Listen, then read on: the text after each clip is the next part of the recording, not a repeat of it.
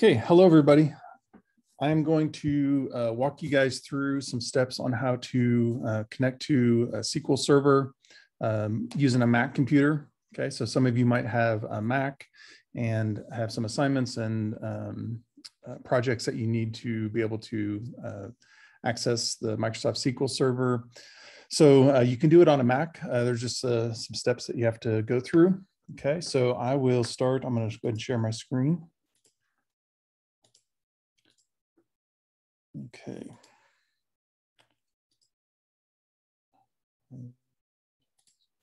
Okay, all right.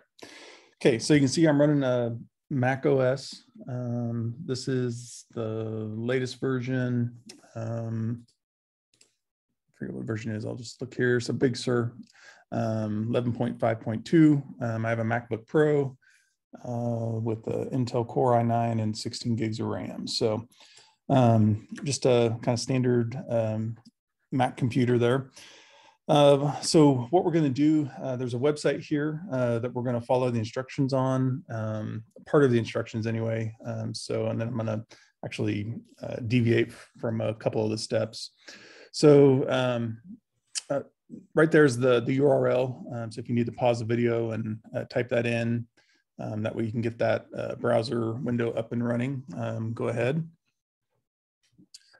Um, so once we get on this site, uh, we're going to see we need to download a program called Docker Desktop.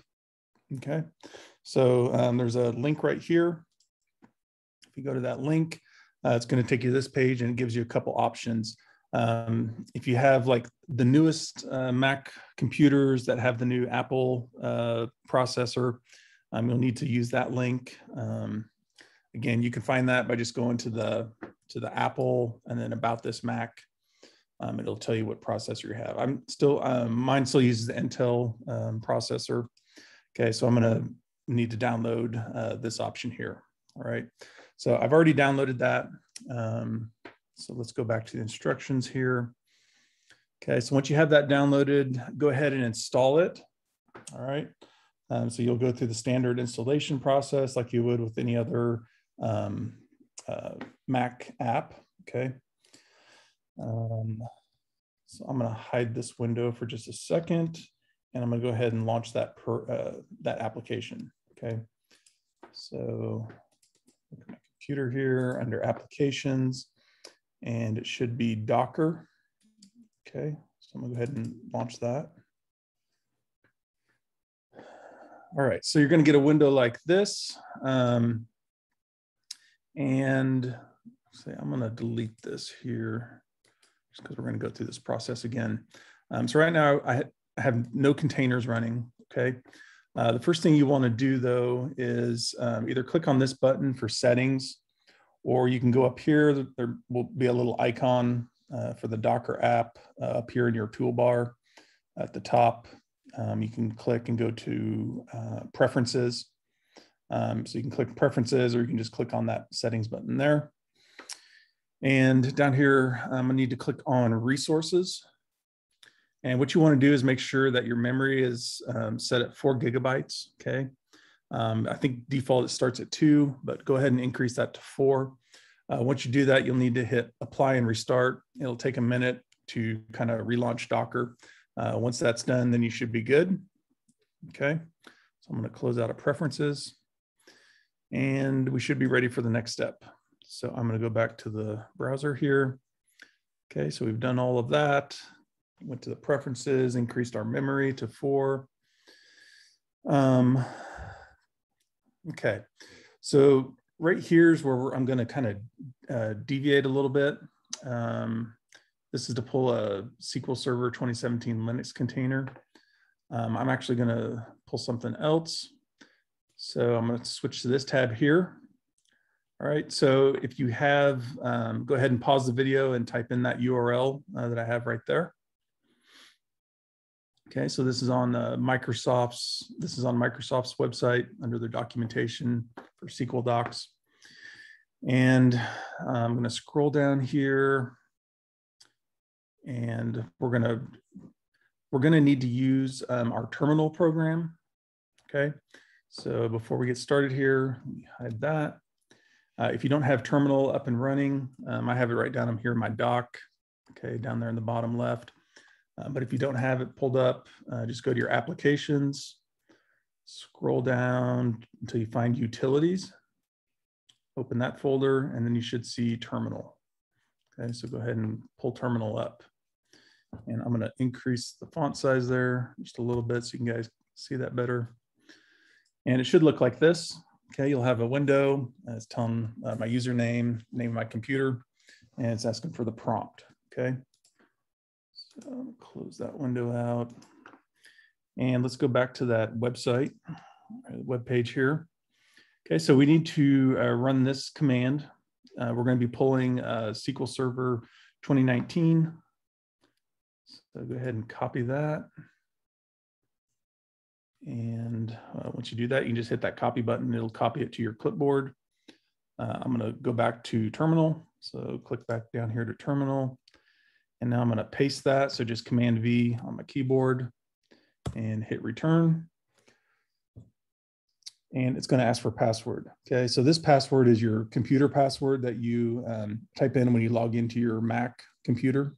Okay, so just whatever your local password is on your computer here. Okay, so I'm gonna type mine in and then hit return.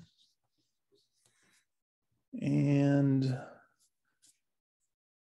can see there it's saying pulling from a SQL Server. And I believe mine went, okay, so that went really fast, right? Um, that's because I have, I believe I already downloaded this, okay? So when you do it, you're probably, um, you're probably, it might not go that fast, but um, we'll go ahead and go on to the next step here though. Okay, so just depends.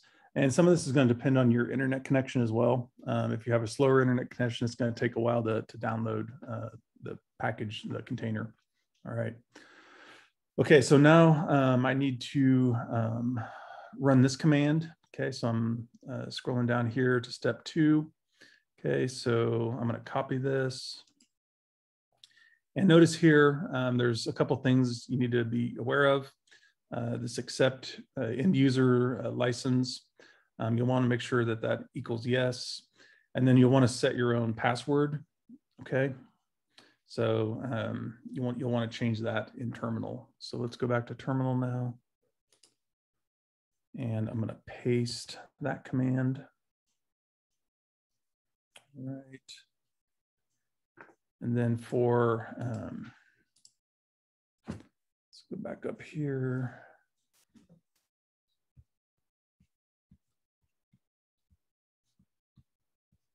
All right, I'm going to change that password.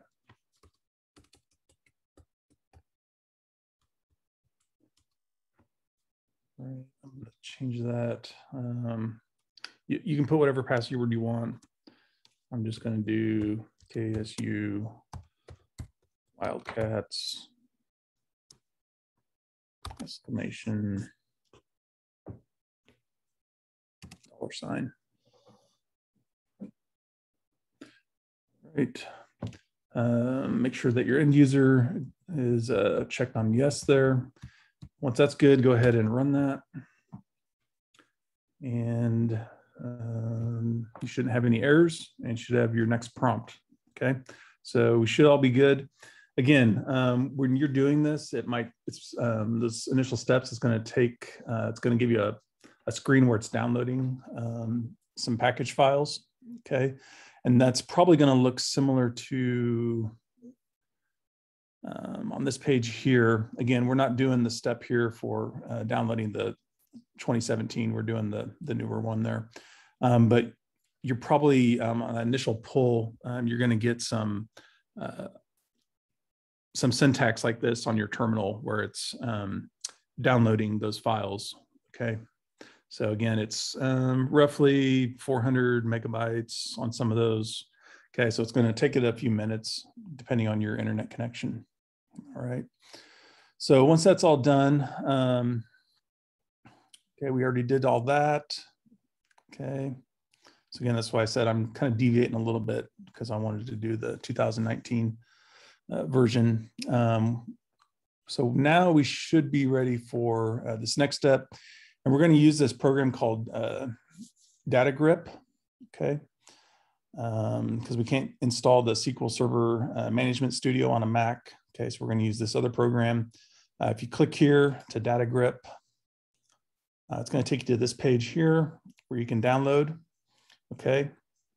Now, as students, I want you to look at this option here um, under buy, say if I'm gonna click on buy, um, under special offers, if you click that, um, for students and teachers, uh, this program is free, okay, so, which is a nice deal. Uh, so you don't have to use that. Um, I mean, you don't have to uh, pay for the uh, subscription. Um, so the only thing you'll need is just your uh, domain email. Okay, so the dot, uh, your email with your dot .edu um, EID, your ID email. Okay, so like mine is Michael at ksu.edu. So as long as you have that, um, you can get this program for free. So go ahead and download that program. Um, again, I've already downloaded it on my computer. So let me step back a few. Okay. All right, so we're this uh, back on that uh, tutorial page, um, section four here.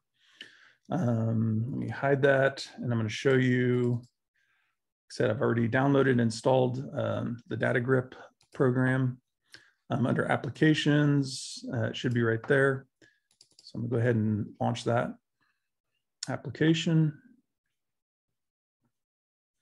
Um, it's loading a new a test one I already did. So let's go up here. And um, initially you're gonna get a screen. Let's see if I can close this out. Um,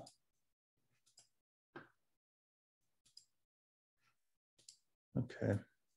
Um, you might get an initial screen with like a couple icons if you want to do a new project, open a project. Um, what you want to do is um, do a new project so you can um, do a new project, give it a name.